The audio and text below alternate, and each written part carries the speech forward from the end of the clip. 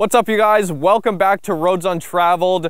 We have for you guys today another POV video. Here in front of us is the all-new 2021 Acura TLX A-Spec. So as you can see, we've got an A-Spec badge over there, and it is a completely redesigned car. This shares no parts uh, with the Accord like the old one did. Uh, and as you can see, as we walk around to the rear here, we've got our DSLR set up. Uh, the rear hips of this car, much different than the outgoing model and the rear end as well. Um, it is actually wider overall and the track width is wider as well as the wheelbase is about 3.7 inches longer in total. It does have SH all-wheel drive um, and we're just going to go for a bit of a drive. We have our full review if you want to check that out. It will be on our channel if it isn't out already. But for now, let's step inside, start the car, and go for a bit of a drive. So it's got a two liter inline four under the hood. It is a kind of an iteration on the K20A. I believe it's a down-tuned version of effectively what is in the Civic Type R. Please correct me if I'm wrong, but as far as I know, it is a K20A turbo engine. We're going to do this entire POV video in sport mode. We're going to hit this drive button down here that puts our transmission into sport and then hit the paddles and we're in manual mode. You can see our boost gauge on the left there, G meter on the right there if you want to pay attention to those. And uh, brakes off. Let's go for a drive. We'll start with a little 0 to 100 kilometers an hour run here.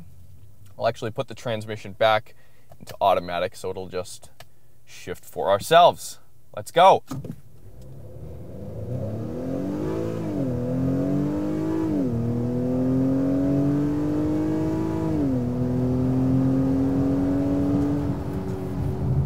Two hundred and seventy-two horsepower, two hundred and eighty pound-feet of torque. Now the Type S version is coming, I'm sure, as some of you guys have heard. Uh, that'll have a turbocharged V6 putting out about 355 horsepower. So the ultimate enthusiast version of the TLX is coming, but not for another few months here. I believe it will go on sale in the spring. It's got a 10-speed automatic transmission, fairly responsive, um, definitely on the upshifts more so. On the downshift, it still kind of has a little bit of a lethargic feel. It doesn't have those real quick, crisp blips on the downshift.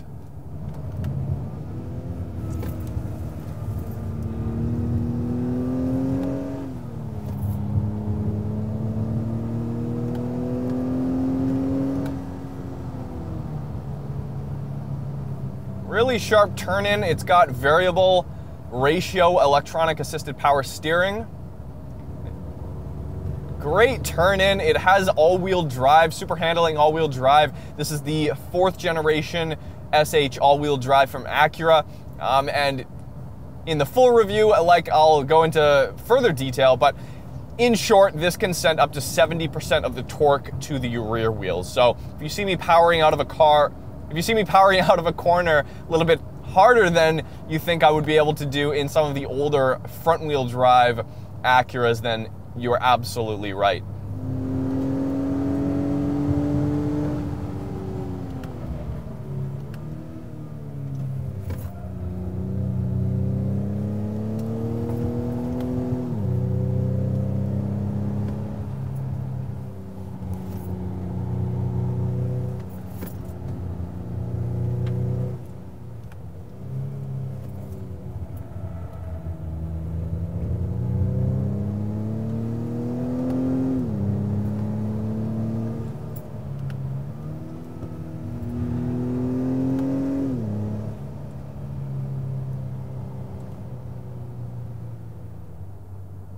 You're wondering about the sound, in sport mode, Acura does kind of pump in a little bit of a, an augmented exhaust noise into the cabin here. It's not overwhelming. In fact, it's pretty conservative as far as fake audio goes, fake exhaust audio in cars that we've driven.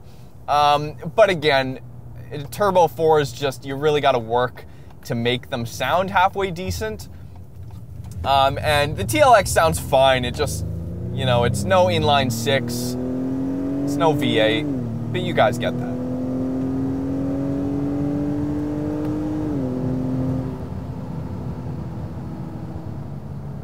You've got power, basically the entire rev band.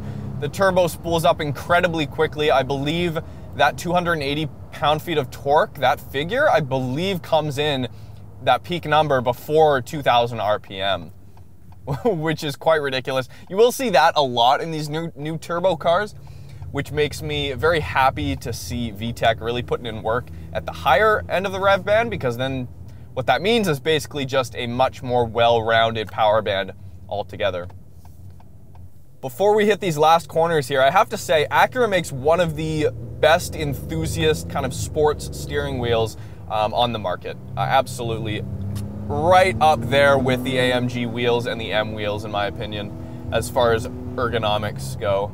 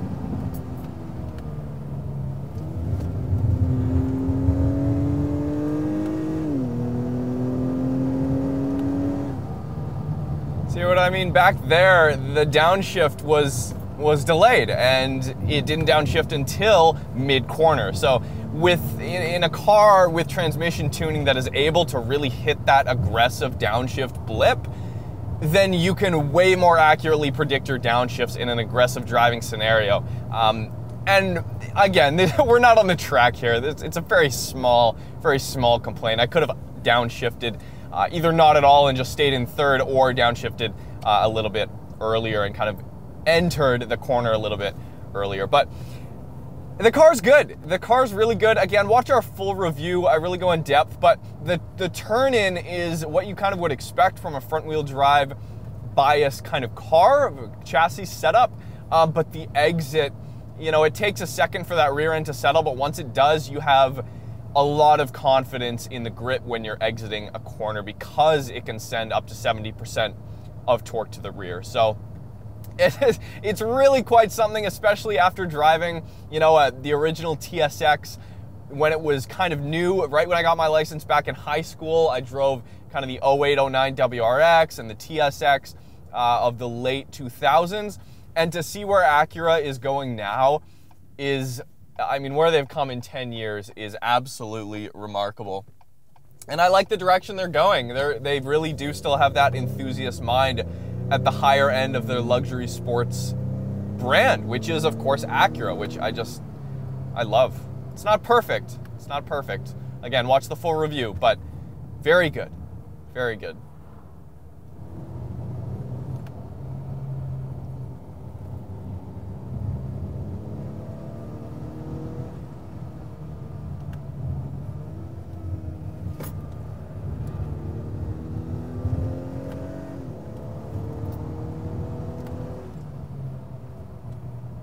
Anyways, hopefully you guys enjoyed this quick POV perspective of this brand new 2021 Acura TLX A spec. It's been a good drive. Hopefully you guys are enjoying these POV videos. We're still perfecting this setup right here. As you guys can see, it's not perfect, but I promise within the next two or three POV videos, we are going to improve our POV perspective uh, and we're buying a couple new cameras as well. So the quality of these videos will uh, continue to improve, but we're gonna start with the POV videos of the press cars because we do have a lot of these coming. Um, but we will as well do POV videos more often with the big horsepower modified stuff too. So again, it's really getting into the, the winter here, so that stuff will be um, a little bit less on the channel for the winter, but I'm talking when we get back into the spring season and the summer season, look out for a lot of exciting, unique POV videos in some really spectacular cars. So hit the thumbs up button if you enjoyed it, and we'll see you guys next time.